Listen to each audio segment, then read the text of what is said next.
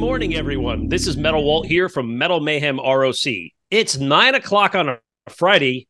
Yes, I said that right. Nine on a Friday, and we're having Canadian bacon and coffee with veteran metal drummer Shawn Drover. Shawn has been behind the kit for what four decades now, um, including lengthy stints in uh, Megadeth and other bands. But today we're here to talk to Shawn about his brand new metal band, the kick-ass band Withering Scorn, as well as his back history. Shawn, welcome to Metal Mayhem ROC. Thanks for having me on, guys. I appreciate it. So, uh, Shawn, we uh, we wanted to get it a little bit into the new album today, and uh, of course, you know, look a little bit of your back history here. But uh, this is what now the third or fourth band. I know. Right? So, uh, so how does that go? How does that go in terms of uh, being on the road together and stuff?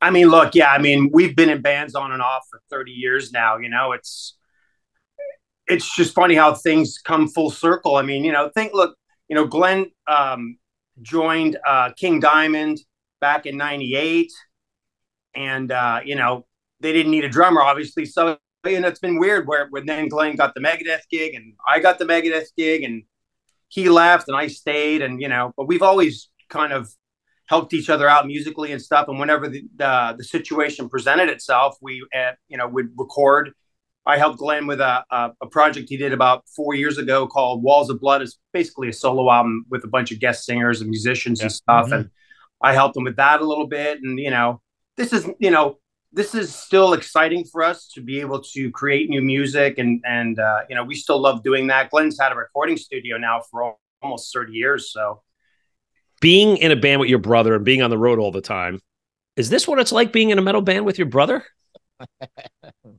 no, absolutely not.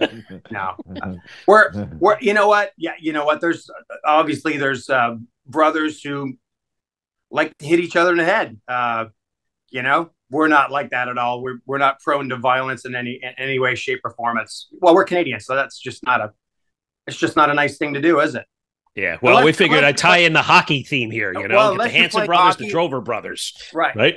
Unless you play hockey, then you fight, and then you apologize to each other, and then go grab a beer. That's exactly it. Yeah. That's exactly it. Now it's all it's all good though. But uh Shawn, seriously, uh congratulations on the new album. You know, I was thinking about this when we got the press come over from uh from from Frontiers. I mean, it, it's a it's a heavy freaking album, and it's a bit of an outlier for the kind of music that they signed. So, just uh, talk about like how did the project come together? Really, it was COVID was really the the start of it. You know, it, it shut our industry down flat, and and obviously most people couldn't go to work no matter what you were doing. You know, so my brother really kind of reached out and said, "Look, you know, no one's going on tour. We're not doing anything. Why don't we just start writing some new songs?" And just kind of started doing that, and then we asked um, our our friend Joe DiBiase, who was in a band called Fates Warning for many years up, up north, and uh, so he was on board. So the three of us started doing things, and um, you know, and then we reached out to uh, a fantastic singer who's been a friend of ours for a long time, uh, Henning Basse from uh, from Germany. He's in a band called Metalium for many years, and yeah. he was on board. So one one important thing, real quick, to mention was being that we c- couldn't even leave the house, let alone go into a recording studio together. It was important to know that these people were set up at home with Pro Tools yeah. to be able to record. So you know, um, everybody have everybody's set up that way. So you know, uh, on and off for the past three years. We just kind of worked on this record, and and uh, we finally finished it March of this year, and we started shopping it. And Frontiers was on board pretty quick. Within I think about two weeks, to be honest, they were they came up with a solid offer, and uh, and here we are. And that's kind of we we that was by design. We wanted to not just do a couple songs and then shop it and all this stuff. It's like, look, you know, here's the record. If you like it, let's let's talk. And and Frontiers re- literally said, you know, the next day, like, we love the record, you know, and, and we had an offer and a table from them within probably a day or two. So, yeah, that's actually really, really, really cool because you don't hear that too much anymore. Usually it's kind of the other way around where you'll find artists will say, All right, we get signed to a label and then we decide what, what songwriting direction we're going to go into. This was like the old school way going backwards, saying, Here's your product, make us a good deal, sign a contract, and let's move on here. So, uh, really, really well done. So, uh, what what about the actual name of the band? I was curious about that. where did that come from? Withering Scorn. That was the hardest part of doing this friggin' record was coming up with a name that everybody agreed on. I mean, seriously. I mean, it was like Joe would have a list of 15 names. I would have a list of 15 names. Glenn would have a bunch of names, and we could never agree on a name. It's like after a while, it's like, dude, it's like, you know, or if we did agree upon a name, we would look it up and a band already had it. So Yeah. it, I'm telling you, it was the biggest pain in the butt. Um, and finally, I came up with this. I came up with Withering Scorn. It- It's an old term I heard on television years ago, and somehow it popped in my head. And I said, "What about this? This, you know, it's certainly metal sounding, but it's a little different." And you know, I already looked it up. Nobody has this name. What do you think? And they're like, "You know what? That's pretty. That's pretty cool." You know, and and so we just went with it. You know, for, look for me, we could have called it chocolate ice cream for all I gave shit. You know what I mean? It's like let's just pick a name for. You know, this what this went on for months, dude. No joke, but you know, Really? we all we all like the name, and and uh, uh, there you go. So there's Judas Priest was taken. That's why we had to come up with something else. Yeah. Shawn, seeing that this was a COVID project, how did you um were you guys all like you're in Georgia right now, even though you're from Canada. Where were the rest of the guys? Did the COVID lead uh make it easier because it was remote assembly of this album? Well, certainly. Well, COVID or not, I mean, you you know, with with uh, the advent of Pro Tools now, it, it Mhm. enables people to record at various parts of the planet. So, you know, again, like I said, we did this during COVID, but yeah, we we couldn't go into a recording studio together if we wanted to because of COVID. So we had to have players that were set up at home. You know, Glenn's up in Canada. He's up uh, um, in Windsor, just over the border from Detroit, Okay. Michigan. You know, Henning's in Germany. Um, Joe is Yeah. in Connecticut, and I'm down here in Georgia. So, you know, COVID or not, we still could have done the record. But again, that that was kind of like why we decided to to do the record. Really was was you know because there was nothing else. There's nothing else going on. No one's going to play live, and and we just kind of used the situation to our advantage in, in terms of you know look we have all this time why don't we utilize Yeah. it in a positive manner Which process do you prefer? Uh the the the old school where you're in a room or the new school or a little bit of both?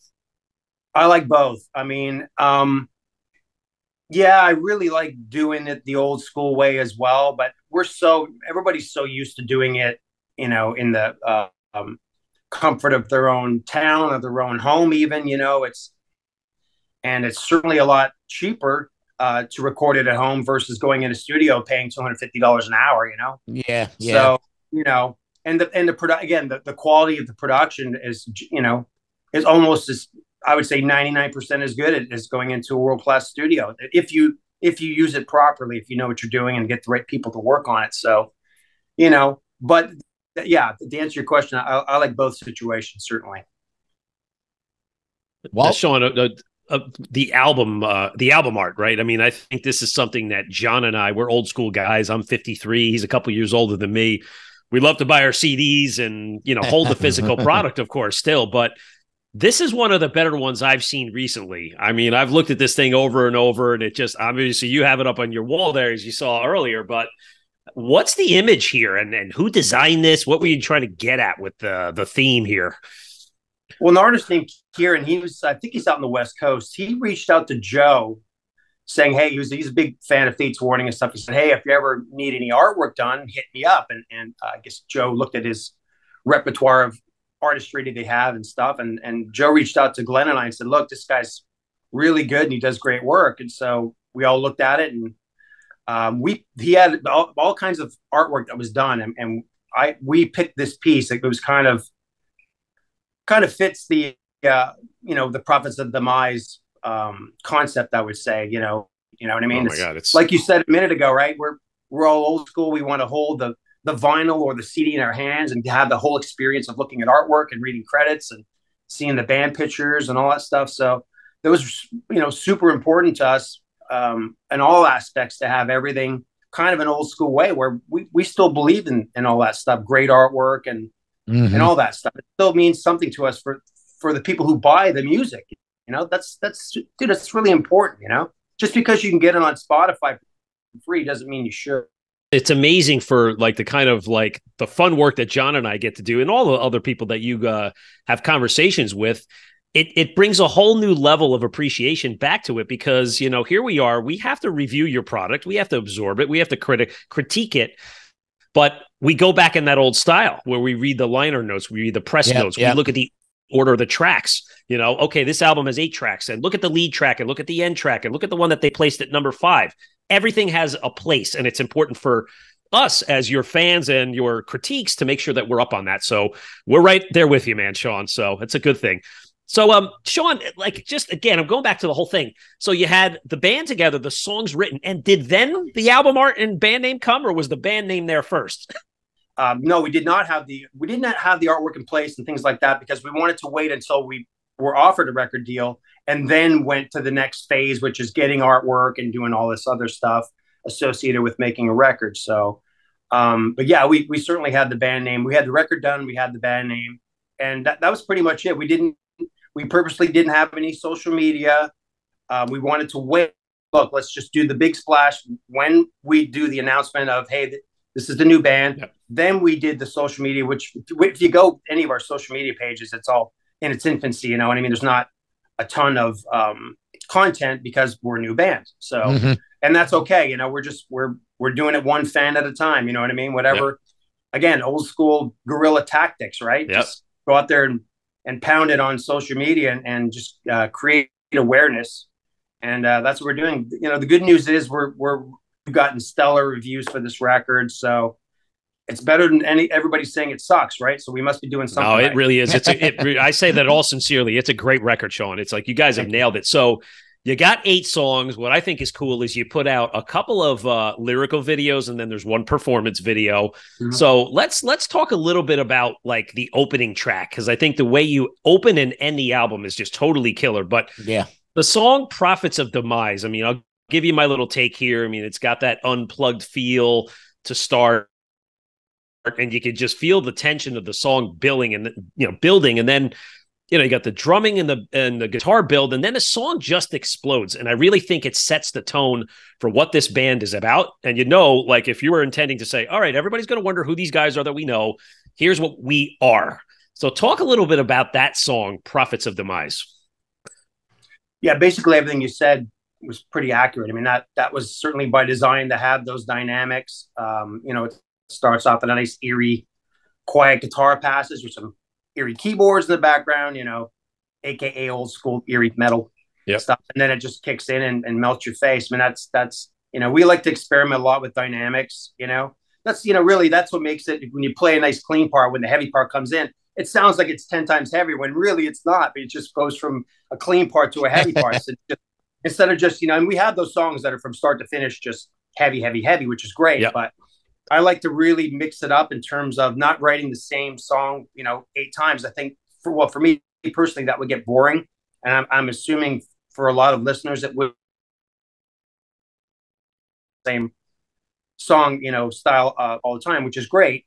But for me, I like to, you know, I'm I'm influenced by so many. We're all influenced by so many different kinds of metal and stuff. Yeah. So you know, I love Trouble and, and Candlemass just as much as I love Slayer and and the, the super fast stuff and Carcass and everything in between. So you put all these influences in this big melting pot for the last almost 40 years and and this is kind of what we come up with. So you know yeah i, just love the, the dynamics of that song and uh it's you know like you said a minute ago the song placement is super important for us because we did it in terms of what would this be on vinyl. So the, the you know four songs on side a four songs on side b. So the fifth song is dark reflections which right away in side two that song kicks you right in the face so that all, everything was done by design where we had the epic song is number four and epic song is number eight the last song on side a and side b that's kind of how uh, more joe than and and, you know joe and myself but more so joe really uh, was, was adamant about you know having the right song placement and uh, and he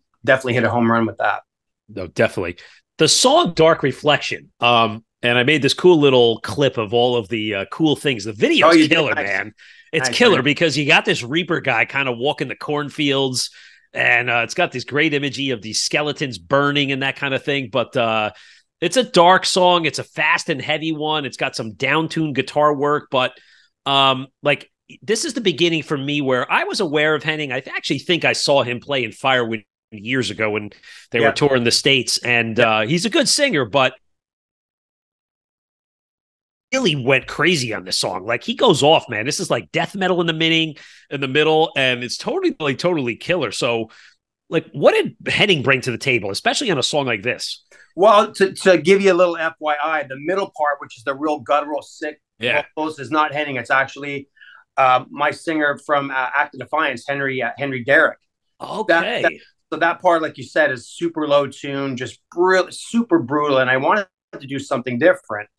And really, I wanted to have kind of a guest on the record, you know. And, and so I hit up Henry, and, you know, he's so great at that kind of stuff. He's such a great, talented uh, singer. Um, I said, hey, what do you think about, you know, creating a partier for this? And, and he, he, was, he was totally into it and he liked the song. And so that's what that is. Um, was the guttural stuff is Henry. I'm not saying that Henning couldn't do it because I'm sure he could, but I, I by design I wanted to have just kind of like a guest singer on there just for that part, just to have again experimenting with dynamics, right? Just having you know Henning's a fantastic friggin' melodic singer, uh, melodic aggressive singer. That was kind of my idea to get Henry to do that. yeah, it really, so- it really, really works. uh, it's totally killer, though. Love that right one, it- man. it- exactly yeah so you know again that song's kind of hit a nerve with some people in a good way because if you look at the the number of views on youtube that song has like i don't know like 105 110000 it's like quadruple the amount for Yeah. our other other videos so and i mean that song's about uh it's it's the only song on the record really that's uh, not uh, fictional it's more of a reality based it's about overcoming addiction so it's Okay. something that I wrote about where, uh, ironically, most of my songs have a very bad ending. You know, everybody dies and it's all you know bad stuff. Uh, but this song actually, well, it's metal, right? This song has a happy ending where the the person overcomes uh, their addiction and you know moves on to a better life. That's what dark reflection is. You know, why can't you see your dark reflection? Can't you see what you're doing to your life by doing this crap and it's Yeah. destroying everything around you? But the person realizes it and overcomes it. So in in a in a an ironic twist, heavy song, it has a happy ending. So where all my other songs don't. Like the uh, video how it's even in the reaper to tie into your your storyline he'll stand over the grave but he never goes in the grave Sure. so really cool imagery how exactly what you're saying here that's that person looking but they they figure it out right they end up Yeah, with a good ending. So yeah, john happy john i think you had a question Uh, more of a comment. Uh, Shawn, you mentioned bands like Trouble and Candlemass a little bit ago. And there's two tracks on this album that my interpretation lends itself. Uh, Ancient Desire and then the the final track, uh, Eternal Screams. Both great tracks have that um, you know, the, tons of elements, a little longer on each of them. Comment on these tracks. Uh, Where do they rank in your preference of these eight tracks? Well, I love them all. They're all like my kids, so I, you know, I don't want to say one's uglier uglier than the other. No, Mm. those those are. It's funny you said that because almost every interview I've done, track four and track eight are are their favorites, and and they're my favorites as well. I mean, they're just. Oh, It's a little more. It, um, song four has got this whole weird, wacky, um, j- almost jazz fusiony part at the beginning of the song, and then it just takes a curveball. You know, they're real drudgy, slower tunes. They're just super heavy, and like I said before, you know, I I, I love a lot of. You know, I love Trouble. I'm such a huge fan of Trouble and and um, Candlemass and and My Dying Bride, like some stuff, My Dying Bride and stuff like that. So again, it just filters its way um, into the melting pot of creativity for me. You know, only doing this kind of metal or that kind of metal. You know, the spectrum's pretty wide, and I stay within those parameters. But having said that, I I try to do as much as I can that I can get away with. You know what I mean? You're not you're not going to hear a disco tune, disco metal on on Yeah. anything that I write, but I try to push it as far as I can, where you have that variance, and you know. I, I just like to hear different things on, on a record. So well, we like that to hear song different uh, things ancient too. Des- totally on that song uh, john and i were were listening to ancient desire feel up front and then it just Yeah. cuts off and then i heard this little segment that was reminiscent of black sabbath falling off the edge of the world i don't know if anybody's told you that before but that whole build up with the pounding drums and then wow it just sounds like something's going to fall off a cliff so uh Sure. definitely a favorite of ours too john you. you. wanted to talk about uh track eight as well right eternal screams Well, I, I, I think he addressed it. It's that um, you know, his interpretation. That's uh one of my favorites, yeah. but I think he answered that. I think I I think this one showcases Glenn at its at his best on the album. Like it's not to say that he doesn't on the rest of the songs, but he really there's a lot of diversity in his playing on that track. So uh, you know, what can you say about that song? Because that one kind of has ebbs and flows to it. It goes all over the place, and you think it's ending, and then you're like, oh no, here comes again with a, a different kind of atmosphere. So a very, very cool track. But talk about like Glenn, like what he brought to the table on this album.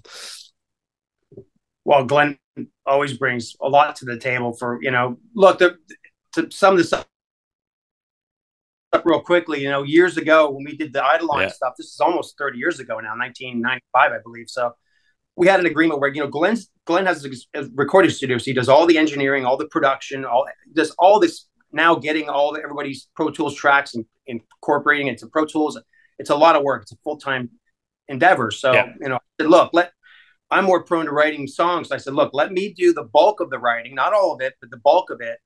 And uh, of course, Glenn helps me arrange it. He puts his stamp on it, changes little nuances and stuff. Which the beginning of song four, uh, Ancient Desire, that's all Glenn, all that wacky, jazzy fusion yeah. metal stuff is all Glenn. I, I can't play that stuff. so, you know, um, his stamp is all over the record. Although I write most of the music, he okay. makes it his own and you know i never get offended you know you know changing notes or changing keys. They're, they're, just notes on the guitar dude. Just here here's a you know change it. What do i care? As long as it's better than what i'm doing i'm all for it. So and a lot of times he'll do something or say hey let's you know half let's cut the last verse in half let's double the chorus. He's really good with arrangements as well on top of all the other stuff he's doing. So you know glenn's glenn's an integral part of everything that we've done yeah. uh, anyways. You know, without Glenn Studio, we wouldn't be talking right now. Without Glenn Studio, we wouldn't have got the Megadeth gig because those Eidolon records are what got us that Megadeth gig. So had yeah. he not had that studio, there's no way we'd be talking right now. So it's uh it's it's it's you know Glenn Glenn has a signature sound and it's funny you don't listening to those old Megadeth albums or whatever. But then when you put on this album, you're like, oh, that's Glenn right there. I the, the best stuff of what we love about him. Um, Shawn, one of my favorites, and because I don't want to skip over this one, is track three. Uh, pick up the pieces. This one, it's it's it's proggy in the middle, and then I kind of I kind of hear Henning doing this like almost like a Rob Halford painkiller type mm-hmm. uh, feel to it, and it's just even like there's a you know when I go for my daily walk, there's that midsection, and I hear like Glenn's left earbud to the right earbud, and then it centers out. Mm. Like just totally little subtle thing, but totally killer. Something that I completely appreciate. Yeah, it's ear candy. I mean, that you know, we, we learned that years ago from from Dave Mustaine. I mean, there's you just put little, like you said, when you're you don't hear when you put your headphones on, like we're old, you know, if you yeah. put your old school headphones on, like we did back in the day, you hear stuff that you don't necessarily hear when you're when you're blasting your Pioneer stereo, you know, at, at full tilt. You get those little ear candy bits and stuff, and, and we're uh, big advocates for, for that. Just having just even little stuff. Yeah. That you know, only the chosen few here, but it's it's still an integral part of, of what we do and stuff. Um, yeah, that song, you know, that song, uh, I wrote that whole song that starts with a cool chromatic thing that had a weird time signature in it. I had to count, explain it to my brother. It's just a weird counting thing that that I did as a drummer. Sometimes you you come up with weird patterns and stuff, but uh, yeah, you know, it goes from 16th note bass drum, uh, bass drum notes to 24th note. That's with this whole painkiller reference. I keep hearing that as well, and it's okay. again that was. Uh, it's not by design, but that's kind of how that song is structured as well. But look, if somebody thinks it sounds like painkiller, I'm not. I, will take it as a comment, but that's it was never yeah. intended to. I never tried to write anything that sounds like anything else. But if it, you know, again, like I said, with all the influences I've had over the years, you know, some sometimes things are gonna gonna bleed into that, and, and I'm fine with that. I, I wear that proudly, to, to be honest with you. So it's and it's just it it just shows to me. I really appreciate Henning his variety on his vocals because. Mm-hmm. He's not a he's not just a, a one one type singer, you know. He's got different ways of singing, so and that's one that really showcases himself there. Mm-hmm. Now, um, the the other song I wanted to, to talk about is "Dethroned," right? Because I guess this to me it's a simpler one, right? And when I first listened to it, I said, "Okay, this is okay, but not like one of my favorites." But then it it rings in my head all the time now. I think mm-hmm. it's got a little catchy melodic chorus and, and just a cool little song, you know. And it is the performance video, so it's the the chance for the fans to go out there and actually see this band playing. So, uh, talk a little bit about that one. Yeah, it's more certainly more about uh, uh, just a straight forward metal track. There's no curveballs in that one. Again, like I suggested before, you know, I, I don't want to write the same. I, I, wanted to write that straightforward metal metal tune. You know, just four on the floor in your face, just you know, from start to finish. Cat, you know, very um, uh, concise. You know, there's not 16 parts in that song. It's very, and that was again, that was done by design. I wrote that song with that in mind. You know, because I, I I wanted to have that song because you know a lot of people just like that straightforward, especially in Europe, there's a lot of guys that just like the straightforward metal stuff, and so you know, and I'm, I'm a big fan of uh, uh, things like that as well. So yeah, there's there's not uh, there's barely any ear candy to that tune if you put your headphones on, but that was by design. You know, it's just just to me a good, straightforward, catchy metal yeah. track. Like like you said, right? You're like, hey, you know, you listen to it a couple times, so I give, you know, yeah. it's it's a catchy, it's a catchier tune. I don't really write catchy tunes. I would say I don't have the big catchy, yeah, choruses and stuff, and and um, but uh, it's certainly more catchy than than Eternal Screams. You know what I mean? Yeah. So you know, yeah. So it's it's a nice, nice, straightforward track. Absolutely, absolutely. So, yeah, it's uh, another great track. I, I mean, Shawn, I gotta say, like this band screams to be playing live, and I know it's tough because uh, things are different. I mean, is there any chance you guys are going to get out there on the road? Because I think this stuff needs to be heard in a live setting. Yeah, I mean, look, here here's the situation with us is we're kind of in a holding pattern because we're a new band. Uh, bands are canceling left and right going over to Europe because the cost, yeah. you know, the cost of petrol is doubled or tripled. Yep. Bus busing is is almost unavailable because everybody for three years, you know, and, and I think it would be a, a, a great financial loss if we said, let's just go to Europe for five weeks and, you know, ground and pound. It's like, dude, it's not, it's not smart. I, I learned this from experience. I've, I've been around the block a couple times. So, you know, I think once the word spreads more, you know, most look, most people don't even know who we are, you know, by doing yeah. this with you and, and doing these interviews that we're doing and stuff, it creates awareness. And that's, of course, that's what it's all about. But, you know, I think we should wait until the next record to where a little more time under our yeah. belts and a little music as well, you know, because now now with the next record we can do the you know the making of and just put, put all kinds of videos way beforehand and all that stuff creating awareness that we are making a second record where with this one it was like everything just came out at once. This is the band this is a record this is coming out in two months you know? It's like oh yeah. in the midst of all the other hundreds of bands that are doing the same thing right? So it's like we're, we're in a wait and see pattern. If, if there's a you know if Wacken comes calling you know next year two years wanting us to play the festival would consider it. But right now, we're we're we're kind of in a holding pattern with that. So, Shawn, um, congratulations on again the killer new album. I, I hope that uh, others get a chance to experience it as well. Um, but we wanted to take some time to go back into looking at your history. So, um, I mean, it goes without saying that uh, that your biggest claim to fame is you did play in Megadeth for ten years well, yeah, it was, you know, what can I say? It was a great experience overall. I mean, I have nothing but good things to say about that whole experience. And, you know, I got to establish tons of great friendships with, you know, musicians and other bands over the years and that I still have to this day. And, uh, you just learned a lot playing in a band that that's, that, that is that big. Um, you know, the whole experience to me was really positive and, and, uh, learned quickly what to do and what not to do, what my job entails, and and all that kind of stuff. So, and you know, it's uh, Dave takes that camp very seriously. It's you know, I would say almost military style with this execution. So, I mean, it's always been like that. So, you know, and I I took that very seriously as well. So we were we are always on the same page in, in many ways, and uh, you know, yeah, I just have so many career highlights. It's take an hour to go through them. So, you know, yeah, tons, you, tons you, of great tours you mentioned career highlights. How cool was that Big Four stuff over in Bulgaria? I watched that video many times and that was awesome. Reflect back on those times. Well, that was a great that was a great show. Most people don't realize though is the first show we played was in Warsaw, Poland, and depending on who you talk to, um, it's estimated that there was 106,000 people at that show, which is way more than double, which was at Bulgaria, and that was a really great day because it's the first time all the bands mm-hmm. played together after over 25, well over 25 years. The bands had never all all shared a stage at, at the same concert, and uh, so it was electric, man. Everybody everybody knew it was important, and and um, everybody had their game face on, but you could try, you know, there were smiles underneath. Everybody's excited to do it, and, and everybody went out there and, and kicked ass in a major way, and uh, that was a great day. Um, I don't know, it was just such a the sea of humanity at that show was was pretty uh, pretty intense, and uh, you know all the other shows after that we played were great as well. Everybody again, everybody talks about the the, the, the show in Sofia, Bulgaria, which was you know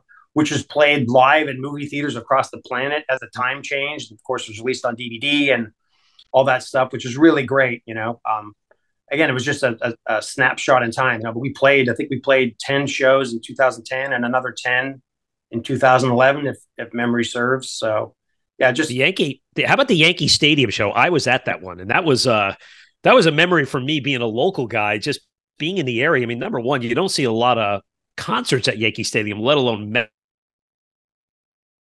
field in the outfield. That was totally, totally killer. What did you anything special about that gig that sticks out? Well, it's Yankee Stadium. I mean, yeah. like you like you said, that that was the only metal concert that's ever been at Yankee Stadium, ever. Yeah. I'm sure there's been rock concerts there or, or, or pop concerts or whatever, but that's the only metal concert that's ever been at Yankee Stadium. So just to have that, you know, on your check on your resume is pretty cool. Look, I mean, look, when most musicians, when they're young Americans, say, you know, one day I'm going to play Madison Square Garden. Well, well, we one upped it. We we played Yankee Stadium. played Yankee Stadium. So that's a that's that's yeah. something that's pretty pretty freaking cool, you know. So it was yeah, it was a great. That's the last show, uh, last Big Four show we played, and uh, yeah, it was it was pretty awesome, man. To just look in that, you know, that's the only. I think that's the only baseball stadium I've ever played, if if memory serves. So what a wow, what a what a venue to play, right? Yeah, I was fortunate enough to be in the right place at the right time down in the pit, and uh, of one of James's picks just ended up in my lap right in front of me. But Shawn, you know the the other thing that uh, I have a great memory on was those Gigantours, and I, if my memory serves me correct, I think that was the introduction to you and, and your brother Glenn on that first Gigantour in the sheds in the summer. And you guys went around two. It felt like it was like two or three summers in a row, and all different bands each summer. It was almost like the complimentary metal tour to Ozzfest at that time. So uh, that was a good one. So talk about like that period of time and maybe some of these other bands that you share the stage with. Yeah, like the, the first one we did, uh, first Gigantour was 2005. That that was the first time uh, yeah. uh, that we went out and played the amphitheaters and played the sheds and stuff, and so that was great fun. You know, we we actually filmed the first DVD in in, uh, in our old stomping grounds at, at the the forum in, Mont- in the forum in Montreal. So that was a, a big thing for us. Glenn and I growing up in Canada, that the dream was to play the Montreal Forum because that's where we went and saw all the, you know, Sabbath and Ozzy Osbourne and Rush and, yep. you know, all those Van Halen, all those bands. Like one day we're going to be up there and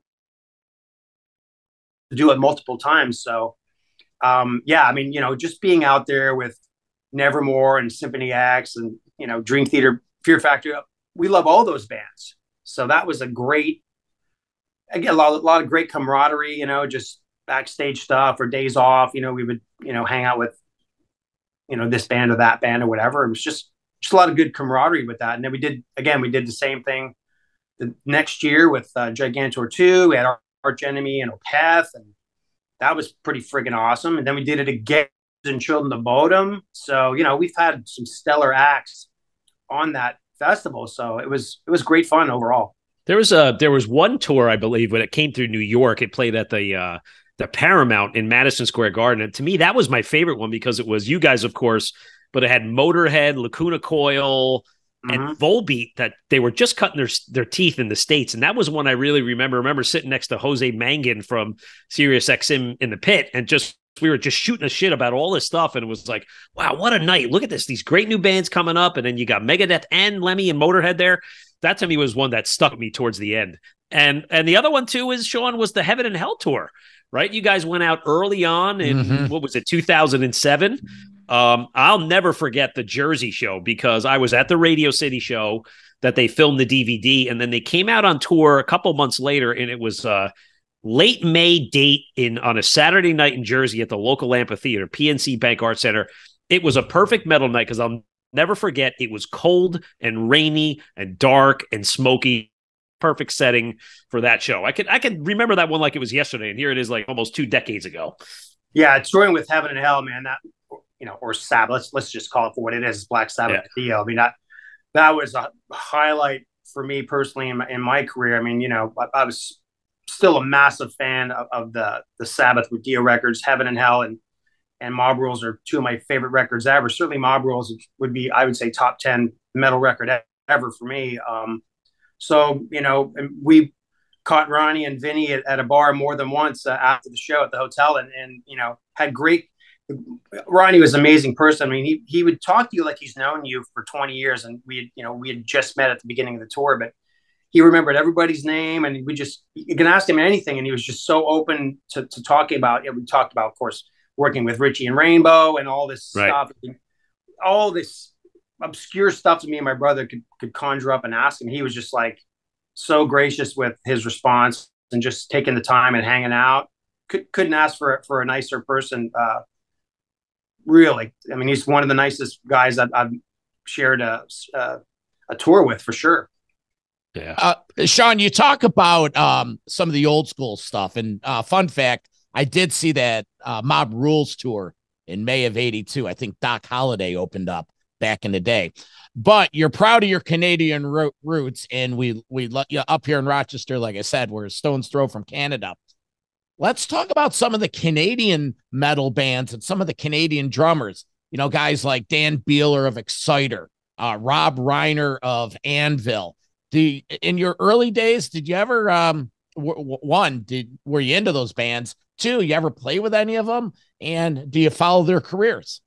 well, we were huge Exciter fans when when you know Heavy Metal Maniac came out and and uh, Violence and Force. I mean, that's at that time, you know, it was pretty fast stuff. You know, so it was on the cusp. You know, arguably, you know, a lot of people cite Exciter and, and, and certainly Anvil too with Metal on Metal, um, song called Six Six Six, which is on um, uh, Metal on Metal, which at that time I think was the fastest uh, double bass drum metal song. Yep. And like I said, Lars Lars would would testament to that as well. He'd tell you the same thing. And uh, Metal Metal is a, is a classic record. I mean, you can't you can't argue that fact. Um, Oh, not at all. it was cool that they made that movie. You know, they just for whatever reason they just never seemed to take after that record, and it was nice for them to have some kind of redemption to have that movie. You know, which is a great a great movie as we all know. But um, yeah, you know, I, look, I I grew up on a lot, and for Canada there wasn't a ton of metal bands. Um, certainly Kick Axe and stuff like that as well.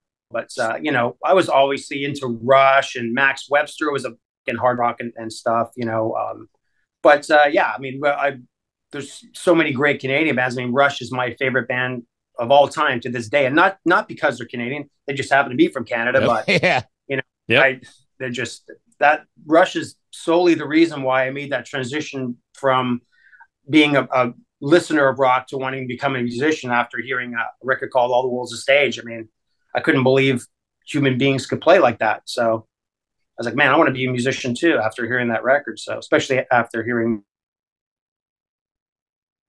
you know, that's they're still my favorite rock band ever. Oh, absolutely love Rush. Well, I mentioned these Canadian bands because, like last fall, Sword, the Hughes brothers, they released Sword Three. Uh, Yes, Sword. Yeah, I get it. Okay, let me interrupt you there. Yeah, Yeah. I, not, to not mention Sword would, would be sacrilege. I mean, yeah, I mean, Metalize is, is such an amazing record. I talked Yep. to Rick a lot on on uh, Facebook Messenger and stuff. Just profess my love for, for Sword. And the, uh, the fact that they finally put out a new record after all these years. Jesus, it's been.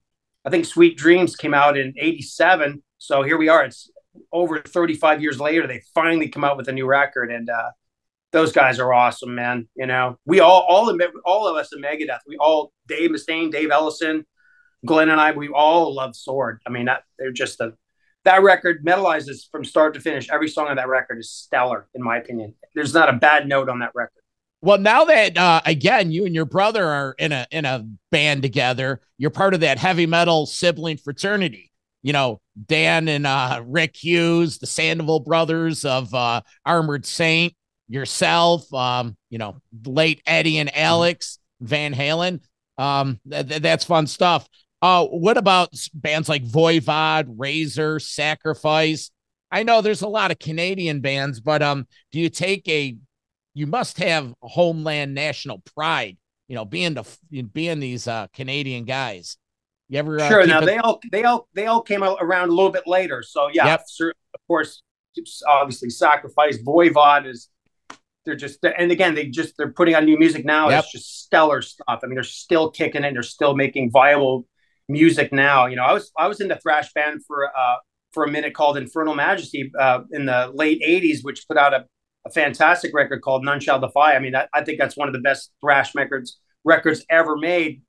Um, that band is grossly overlooked. I mean, they're freaking legends in my mind, you know. And, and the, with the underground thrash movement, certainly they're they're listed as you know that record is just on the list of many people for being one of the best thrash records ever. But of course, yeah, Ray, Razor. I mean, Evil yeah. Gators. I mean, we were fans of all that that record. I still play that record a oh, lot to this day. I mean, that every song on that record is just friggin' classic, man. I mean, that just all the thrash, yeah, so all the thrash stuff that, which again came around, you know, 84, 85 ish and stuff. That's when all these bands started to pop after after Kill 'Em All came out and and all that good stuff. So yeah, all the bands you mentioned, they're I, I love them all. I think they all make had great uh, musical careers and and uh, again, Voivod yeah. with Voivod, that it's heavier now than it's ever been. It's still wacky and techno weird and all that. yeah, yeah, yeah. Space, whatever you want to, you know, Voivod's on their own planet, which which is great, you know. So they're they're uh, you know, Chewy's a great addition to that band. You know, replacing Piggy. So I mean, yeah, there's yeah. No, nobody else who could have done that. I don't think anybody could replace Piggy except uh, Chewy. So, what yeah, what about here? Here's a hidden gem. Um, Piledriver. Yeah. My buddy Steve actually, Piledriver played a bunch.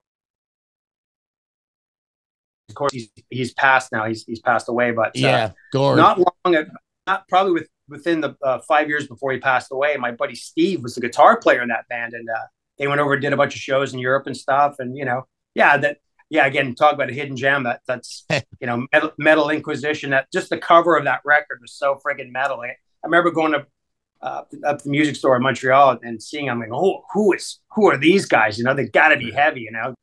I'm going to share one fun fact. Back in 86, I graduated high school and I went to school in uh, Canada for a year, recording art school. And I had a chance to go to school with this guy that was friends with Anvil, friends with Lips. And he arranged it. I had some buddies up for the weekend and we went to the Gasworks to see the band play and he um arranged it. I was able to introduce the band. So I got went up on stage, and the look on my buddy's eyes is like, "Oh my god!" I'm like, oh, "Gasworks, welcome Anvil," and they go into March of the Crabs, and so, uh, just props to Canada. I always have a soft spot in my heart. Just going back, circling back to Rush. I mean, I, I it's one of my top three bands as well. I can't even imagine kid living up there and and like being a Rush fan, like what were some of the experiences you had? Did you check them out at the forum or shows? Like I did that like silly pilgrimage a couple years ago, pre-COVID, where my wife and kids we went up to Niagara Falls, and then I said, okay, we're going to do a half a day to do a Rush tour. We're going to go to the the front of the ministry, and I'm going to take photos there, and I'm going to find the school where Subdivisions was filmed, and all this other stuff. So, what was it like being a Rush fan as a kid or a teenager up there? Yeah, I mean, well, look, I, the first concert I ever went to was um,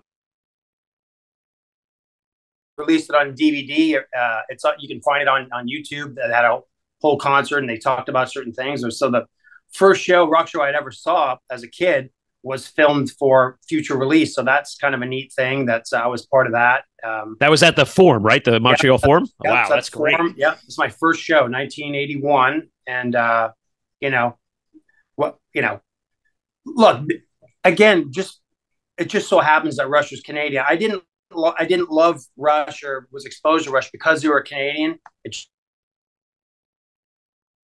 but it's certainly a cool thing that they're all from you know all from Toronto area, and uh, you know, again, you know, it's it's just uh, I have so many great experiences growing up. Uh, when I did in Montreal, the, the the music scene was so vibrant. It's still that way. There's the fans up in Quebec are so hardcore, and uh, you know they're the more most rabid fans I would say in Canada. That from my experience of, of playing so many shows up in Canada, and again, they're all all the cities that we played are great. You know, all, right across the country and stuff. But uh, something of just rabid fans with music and and uh, you know it just it was a great upbringing for me uh, to be exposed to all that stuff and seeing all those concerts at the Forum. You know, Rush is my first, Van Halen Fair Warning tour is my second show, Ozzy Osbourne, uh, Diary of Madman was my third. Um, you know, uh, Mob Rules was my fourth show. I just it just on and on and on and on. Saw so many stellar shows there. I saw Queen. I saw Queen 1982, which was also filmed for DVD. It's the only they played two nights in Montreal and filmed that for DVD, which is on YouTube. Yeah, I think I've seen that. I yep. I don't even know why. Don't even know why they did it. To be honest, because they were not on tour. It was between tours. Wow, so I went awesome. saw that show, which is amazing. Yeah, hmm saw that. Queen, a huge, huge Queen fan as well. So, stuff. but it just went on and on with so I saw so many great concerts growing up, and uh, it was just just a really exciting time. And like you, it's funny you mentioned uh, House Guitars in Rochester. I actually did a drum clinic there, so I Mhm. know exactly. I know exactly. You go downstairs and they got that huge music store down there, and they have all kinds of friggin' concert shirts and all that stuff. That place is friggin' awesome. It is awesome. It's um legendary. The great, great, great House of Guitars. But um, uh, you Yeah. mentioned uh, Montreal. Were you there for the uh, Guns N' Roses debacle or the um, Metallica when James burned himself? Anything like that? Wasn't the Forum though, was it? That was the That was Olympic Stadium. No. I, I I was in America by, by that time. I, I moved to America at the end of 1980, uh, 1987. So that happened, I think, in 92 or 93. I think that Yeah, happened. yeah. So I was I was uh, long gone um, at that point. So, but no, I. So yeah, that happened at Olympic Stadium in Montreal. and circling back. Those were my first shows too. Rush eighty one, Moving Pictures up here in Rochester, and had Van Halen Fair Warning. You know, it's very, very lucky. Those were my favorite bands, and seeing them at the peak of their career, moving pictures. My God, it doesn't get any better than that. And I I followed those bands their entire careers. I saw all all the tours and very fortunate, Shawn, for us to see that kind of stuff because it just isn't like that anymore. Yeah. So Shawn, well, and ever- again, go ahead. No, I was going to say, did you ever take a pilgrimage up to Le Studio? No, and I, I, I regrettably, uh, Yeah. I never got up there. And, and ironically enough, my science teacher in high school, I'll tell you something real quick. My Uh-huh. science teacher in high school lived in Morin Heights, Quebec. So he would, I think it was 45 minutes away or a little bit less than an hour. He would drive to school and was a science teacher. So Rush was recording, Rush was recording. He knew a guy who worked at the studio there. Signals. And I asked for the address to the studio from, from Mr. Boyd, my science teacher. And so I sent Neil Peart a letter. Most people don't know this. And I said, Hey, we're big fans. You know, I was just starting my, my little stupid high school band. I said, You know, can we be your support act on, on tour? He wrote me a, a postcard back and, and scorched me pretty good. It's like, dude, it takes a lot of, you know, a lot of time and a lot of, you know, experience to get from where you are to where you, you know, to where we are and stuff like that. And, you know, it was a bit of a, you know,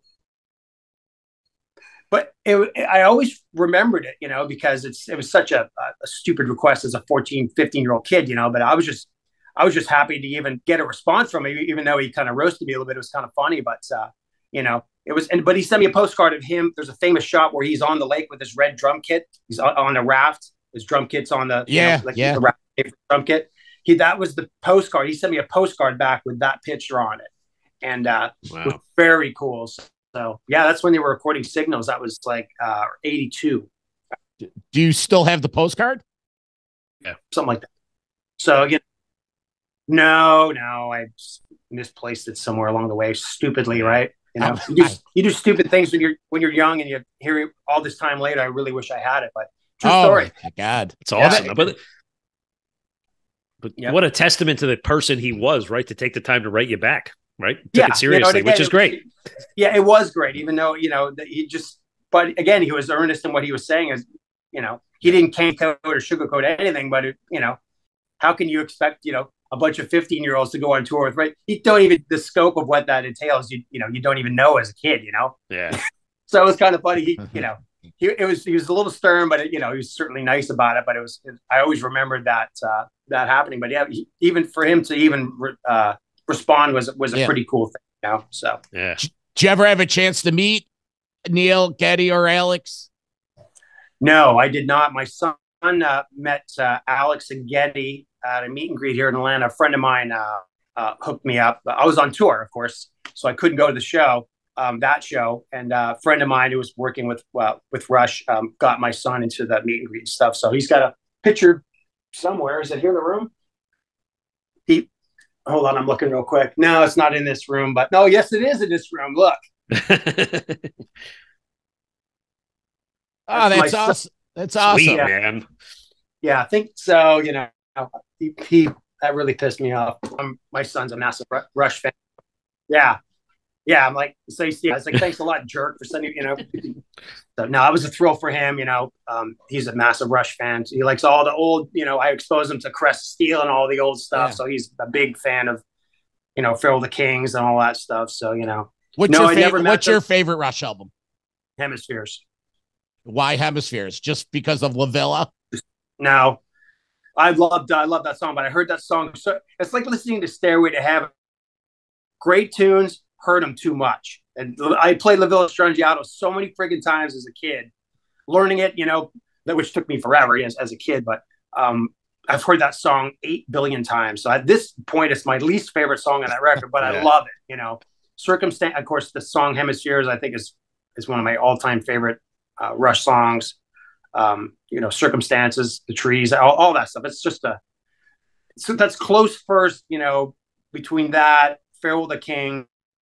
Everybody, almost everybody would say moving pictures for me. I love that moving pictures, of course, but that's that's probably my fourth favorite. So you know, on any given day, hemispheres, permanent waves, Farewell the Kings are one, two, and three.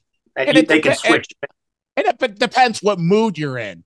Oh, Sure. am I am I a farewell to King's mood? Or Right. you know, um, I love moving pictures. Uh, you know, permanent waves, side two of permanent waves. I love Yeah. Grace Under Pressure. I love Signal. Yeah. So all right. Well, I'll let you wrap this up because like, uh, I want to hear some Rush Power Windows. Just everything about that. we could go on all day, Shawn, but this is uh, really, really cool. Last question: What you, what allegiance hockey? I'm assuming you're a Habs fan, being from Montreal. No, No, No, everybody. No, a quick story of that. My growing up in, in uh, Montreal, uh, my father was adamant about hating the Habs, and Okay. for whatever reason, and my older brother well as well. They did not like watching uh, the Montreal Canadiens at all. So the closest uh, Bruins, which now I'm so glad that happened because, and this is the '70s.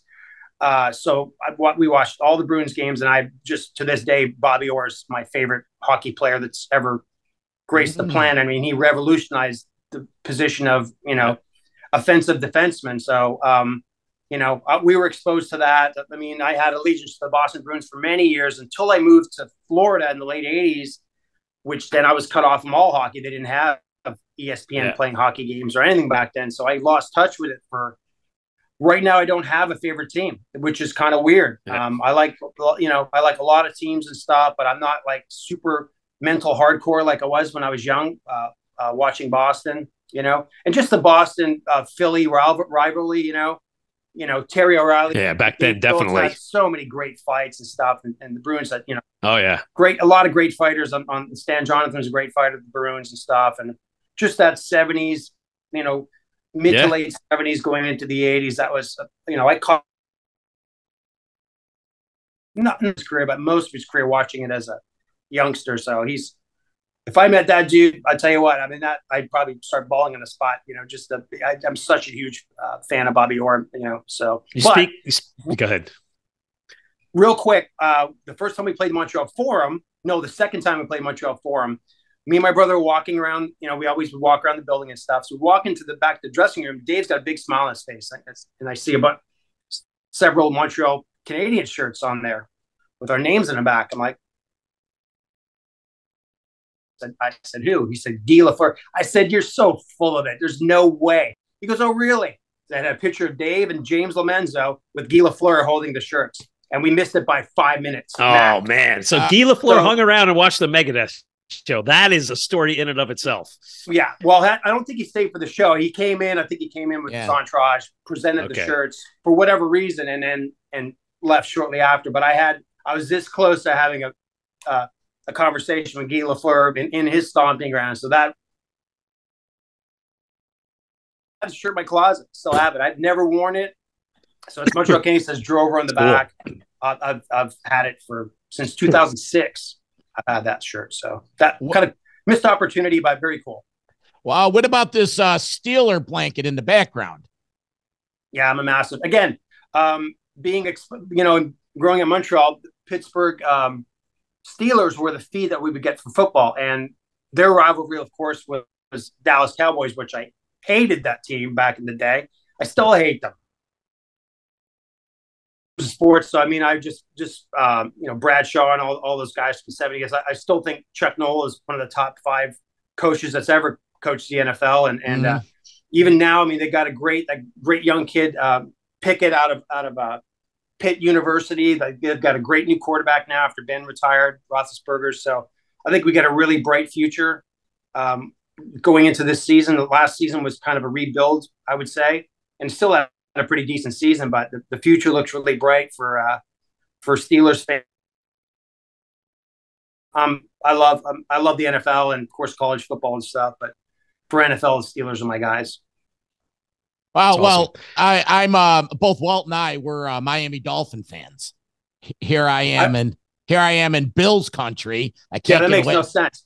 Oh, I, I, I like. Uh, no, you don't no like sense. the like. You don't like uh the Canadians. Sure, um, yeah. Oh, it, it makes Buffalo. no sense, but right, right. Well, I'll tell you real Buffalo. quick. Go ahead. Dan Marino is my favorite all-time quarterback, and he played for Pitt going into college. Going to go to the Steelers, but I like Miami in the '80s sorely for that reason, is because Dan Marino was a quarterback, and, and of course Shula was an amazing coach as well. Uh, they had some great receivers, you know, Clayton Duper. So you know, yeah. But um, yeah, that's the only reason I like uh, Miami in the, in the 80s and into the 90s was I, I, still say to this day, you know, you put Marino in, and any of those teams that won Super Bowls and he they he would have won even more. You know, I just think he's just the best quarterback that's that's ever played in my opinion. Well, thanks. I appreciate that. like you can get a kick out of this. Uh, I was uh, in '94. I was at the Giant Stadium game against the Jets, with the famous spike play. I was in yep. the low bowl, and this past September, I took my two sons to see the Jets Dolphins game down there, and we were waiting for autographs on the outside by the buses. And Marino works for the team, and he came out and he was about 10 feet from the gate.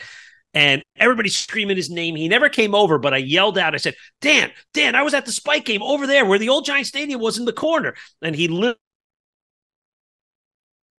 and he just literally looked up at me and he went and he gave me like the finger and he was like this high five. So that was my only brushing with Dan Marino, but I got him to look me in the eye and give me a thumbs up, and that was good enough. And I got pictures of that, him looking at me. So that's amazing. That's amazing. But yeah, yeah. Uh, real quick, you know, you being in Bills country, um, I was a big Buffalo Bills fan too. I mean, again, they've lost four Super Bowls in a row. That'll never be going to the Super Bowl four years in a row is is is an amazing thing in itself. I don't think it's ever going to happen again. So the fact a lot of people say, "Oh, they lost," you know, but they, you know, they should have won that first one against the Giants. Everybody knows it. He missed the field goal. You know, things happen, but they played the better. They were the better team that day. They just just missed the kick.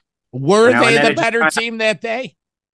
Absolutely in my opinion, sure. It was a great game. It was a close game, but I think I think they played better than the Giants. I have to disagree that because the Giants took Buffalo out of their game, it made them not play their game and limited. But everyone. yet they still hung in there, though, didn't they? Yeah, you know, again, you're, you know, we're all Monday morning quarterbacks, right? So yeah, I mean, it's. I just uh, wish they would have won that. I wish they would have won that game. It would have just altered their future in such a great way. They got a great team now. The last, you know, several years, you know, three, four years, they've had a really solid team and they're just getting better and better. And It's great for the city. It's great for upstate New York. You know that. I mean, you know. no, no, I, I need serious help because I, I'm a fish out of water up here and it's bad. Right. Man. Yeah. it's just, you know, it's it just sucked, you know. And I played a lot of golf tournaments, a lot of celebrity golf tournaments. Daryl Darryl Talley, Bruce Smith, they show up at a lot of these events, um, which is awesome. I still haven't even went and inter, you know try to introduce myself to say hello or anything, but Bruce Smith is still huge he's freaking huge, man. That guy is scary, man. But uh, anyway, I, I, like I always like the Buffalo Bills as well. You know, uh, so. It doesn't. Uh, yeah, no, I respect that. But yeah, all joking aside, I am a fish out of water up here. There is no Miami and Buffalo. What Miami did to Buffalo in the seventies, they will never forget. Yeah. I yep, mean, it, right. that that hatred for Bills Bills fans was pushed down to generation. Like there's yeah, fourth generation Bills fans that cannot stand Miami. So we, uh, we have a Buffalo Bill we have a Buffalo Bills bar about about 10 minutes from my house. Um wow. And they make all the, you know, all the wings and all that stuff and and uh it's a great place, but you, there's no way you're you're getting into that place on on Sunday during football season unless you get there at about uh, as soon as that door opens because that place is packed with in there one time and I couldn't even, there was n- literally nowhere for me even to stand. I was like, I had to turn around and leave because it was, there's just nowhere to go. But I tell mm. you what, man, those, those fans are nutty and it's, it's, uh, it's fun to watch that, that you know, they have su- such a deep passion for their team. Have you ever been to Buffalo for a game? No, no, I have not. No, it sucks. Yeah. I, you know, I just never, there's always opportunities that, you know, I missed a lot of opportunities to go to Steelers games games because I was on tour. You know what I mean? I had friends. Hey, I got you know, like going to the Masters. I could have. I had people who had tickets to go see the Masters up in Augusta. I, I couldn't go because I was on tour. Same with the Steelers stuff. It's a lot of missed opportunities uh, for that, just because I wasn't home, I wasn't available. So you know, yeah, yeah, it sucks. But what are you gonna do? Good problems to have, Shawn. yeah. So, uh, so Shawn, best of luck. It was great chatting with you today about Withering Scorns, your back history, sports and metal, and everything else in between. Great discussion over coffee and a great way to start the weekend. So, best of luck. Thanks, guys. I really appreciate having me on the show. All right. Great. Care, Thanks, Shawn. Have a good one. All right. Take care of yourselves. Cheers. Metal for Life. Thank you for listening to Metal Mayhem ROC. Check out our website at metalmayhemroc.com for information on podcasts, archives, links to all our live radio shows, and all sorts of info. Please like, follow, and share with everyone, even your non metal friends. And always remember to keep it heavy.